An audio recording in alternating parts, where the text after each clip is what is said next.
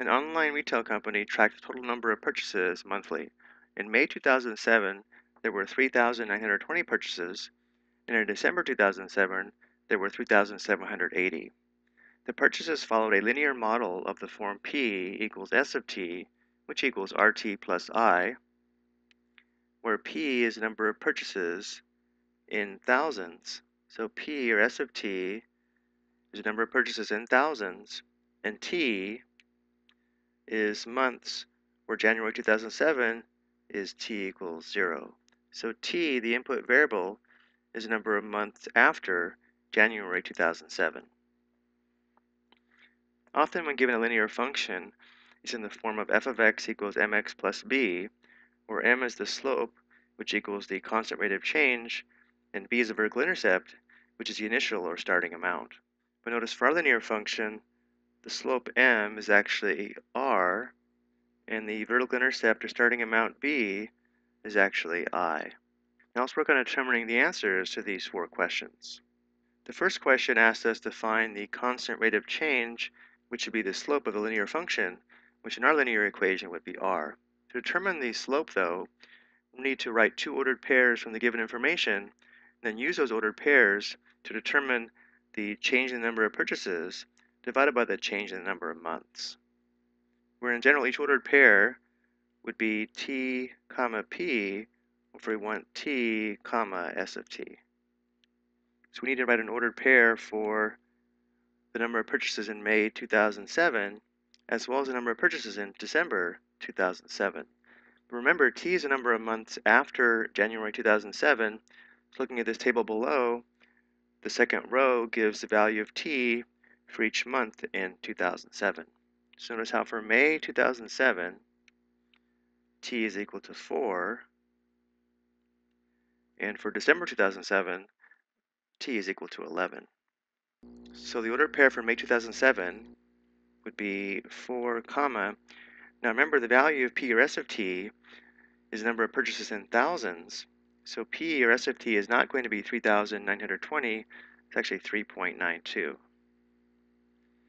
3,920 divided by 1,000 would give us the value of P or S of t, again, as 3.92.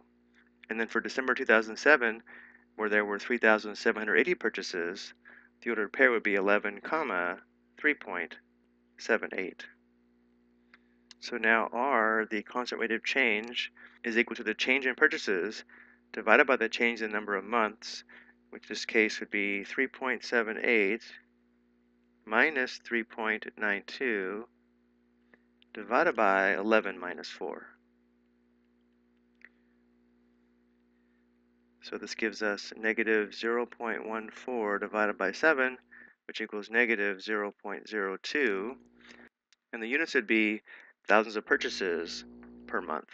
For part A, because the slope is negative, we know the sales are decreasing at a constant rate of, again, this would be 0.02 thousand purchases per month. To convert this just to number of purchases, we have to multiply this value by 1,000.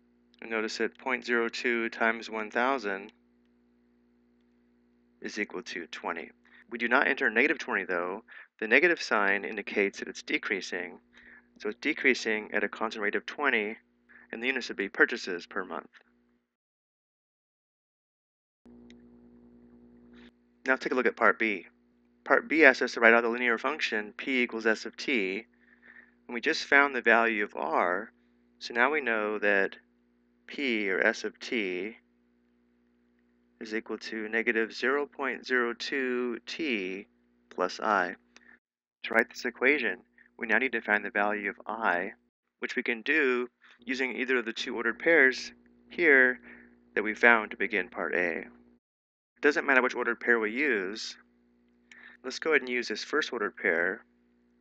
So we'll substitute 4 for t and 3.92 for p or s of t. Performing the substitution, we would have 3.92 equals negative 0.02 times 4 plus i. So that gives us 3.92 equals negative 0.08 plus i. Solving for i, we would add 0.08 to both sides, giving us i equals 4. Now that we know the value of i, we know our linear model is p equals s of t equals negative 0.02t plus 4.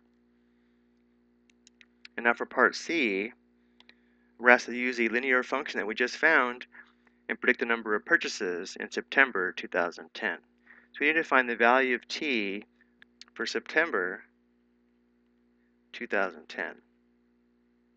Well, looking back at the values of t for 2007, notice that September 2007 would be t equals 8. And because September 2007 is three years after September 2007, the value of t would be equal to 8 plus the number of months in three years, which would be 36. So t equals 44 would represent September 2010. So now we need to evaluate the linear function at t equals 44. So we'd have p equals s of 44, which equals negative 0.02 times 44 plus 4. So going to the calculator, negative 0.02 times 44 plus 4 is equal to 3.12. Remember, this would be thousands of purchases.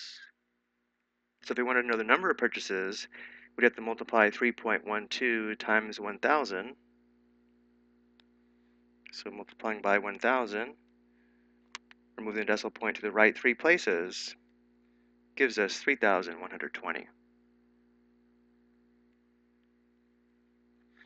And finally, for part D, we're asked what month and year does the model predict sales will be 3,000? So again, remember, P or S of T is in thousands. So we need to recognize here they're telling us that P or S of T is equal to 3. So we'll substitute 3 for P or S of T and then solve for T. So making the substitution, we'd have the equation 3 equals negative 0.02t plus 4. Subtracting 4 on both sides, we'd have negative 1 equals negative 0.02t. Dividing both sides by negative 0.02, we get t equals negative 1 divided by negative 0.2 is equal to 50 to help us determine what year and month t equals 50 would be, because there are 12 months in a year, let's take 50 and divide by 12. So 50 divided by 12 would be 4. 4 times 12 equals 48. Subtracting, we have a remainder of 2. So we know that 50 is equal to 4 times 12 plus 2. Now if we determine what month and year t equals 2 is, we can just add 4 years to that time. So going back to our table, notice t equals 2 is March 2007. So if we take March 2007 and add 4 years, we'd be at March 2011. So t equals 50 is March 2011.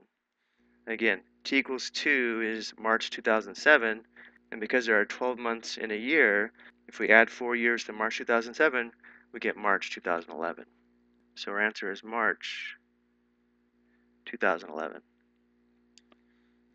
I hope you found this helpful.